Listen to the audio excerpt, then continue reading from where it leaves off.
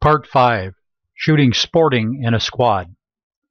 I'm going to start first of all by showing you a particular layout and I'm not going to be doing it in a squad and there are some things about it I want to explain to you.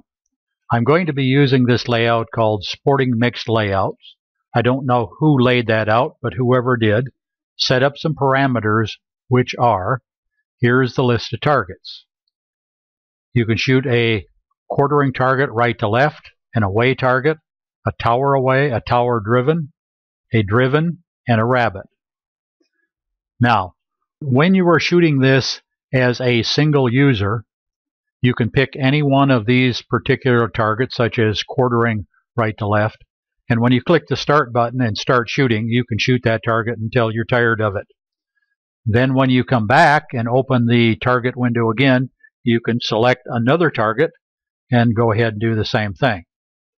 However, if you come up here and select round and then hit the start button, what's going to happen is, and this is because the way this person designed this particular layout, is that you will take five of the same targets before you move on. So opening the window here, when you start in the round mode, you're going to get five quartering right to left targets, followed by five away targets, followed by five target away targets, and so forth.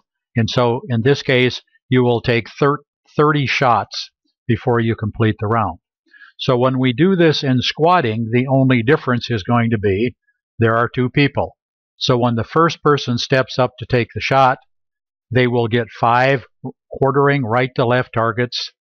And after having taken five, then the second shooter in my squad will take five of the same kind of shots before it moves on to the away target. Let's go ahead and, and get this started now. We're going to go ahead and go into the squadding mode. And I do that by clicking on File, come down and click on Start Squad Session. I'm going to go ahead and pick out the squad of two, which is Peter and Ralph. And partly the reason I'm doing that is because I'm going to shoot for both of these shooters in a squad formation and I already have their guns aligned. Now I'm going to come down and click on OK. And that brings me to the squad login uh, dialog box. And so I'm going to check and make sure that I think everything is right. And notice here that Peter is going to shoot first. Ralph is going to shoot second. I could change that around, but that's how I'd like to do it. I'm then going to go ahead and check to see what the targets are.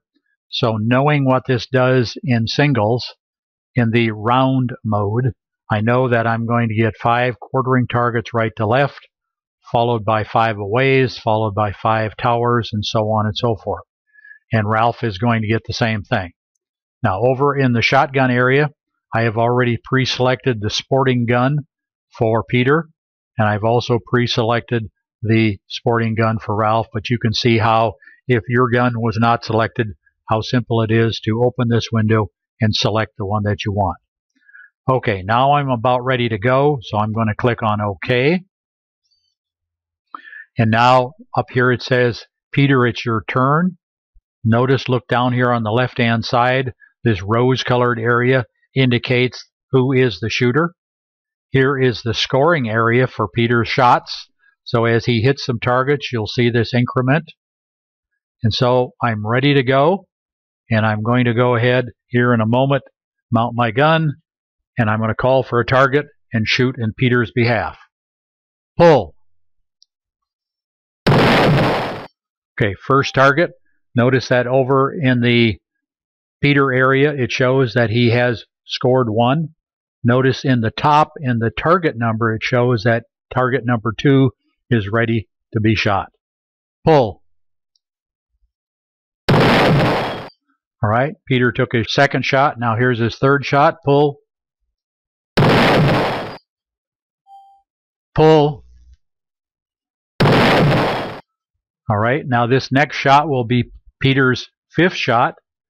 And we'll see then, after he takes the shot, that the rose-colored area on the left will move on down to Ralph, showing that it's Ralph's turn.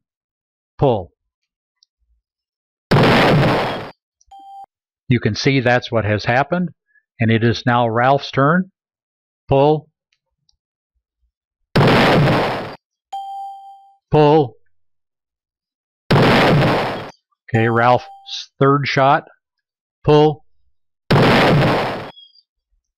Pull. Okay, now this will be Ralph's fifth shot. And notice then as Ralph takes his fifth shot, the orange color on the left will move back to Peter, indicating that it's Peter's turn, but it'll change from the quartering right to left target to the away target. So here we go. Pull. All right. Now also notice in the top that this shows that this is the sixth target for Peter, and this will be an away target. Pull. Pull. Pull. All right, and that's the final shot I'm going to take. I missed the third shot for Peter. Now we're going to move on, and I'm going to show you how to bring this to a stop in a different way. Normally you would continue until all each shooter had shot his 30 targets, but I'm going to stop this round now by clicking on Finish Round. And that brings me to the squad results dialog box. Now I'm going to explain how this works. The upper portion here that is now highlighted is a summary area that is for your convenience so that after you finish a round, you could look at the summary information for your particular, in this case, it would have been 30 targets, but in our case, uh, Peter took eight targets and Ralph had only shot five. And the summary information can be printed out along with the individual target by target information, and that's printed out on an 8.5 by 11 inch sheet of paper. The top half having the summary information, which is shown here, and the bottom half has the uh, target by target information. It's also possible up here on the top to click on the shooter. If I click on Ralph, now all of this summary information on the top has to do with Ralph. If I'd like a printout, I select the shooter that I want, I come to the bottom and I click on print. And that'll print an 8.5 by 11 sheet of paper, everything about Peter's round. If on the other hand I wanted Ralph's information, I can highlight Ralph and come down and click on Ralph. Now you can also see down here that there's a print all button. So if both people would like their information, all you have to do is to come down and print all and it'll print two individual sheets of information. And then finally, your last option is you could save the information as a PDF file instead of printing it at that point in time. Perhaps you don't happen to have a printer uh, connected to your computer at the time that you're shooting. You could save it as a PDF file and then later print it. Now, when you do the save as PDF, it saves all of the shooters in one file. So in this case, there it would be there would be two sheets worth of information in one file, which means that later if you wanted to print it, you can either print both pages or you can selectively print one or the other page. The reason why this is important is because this is the only time that this information will be available. If you do not choose to print it or save it when this squad results screen comes up, and then you click on the OK button, you've lost the information forever. So make sure that you either print it or save it in a PDF for your later use. Okay, I'm going to click on OK. When I click on OK, notice that what it does is it goes right back to the squad login.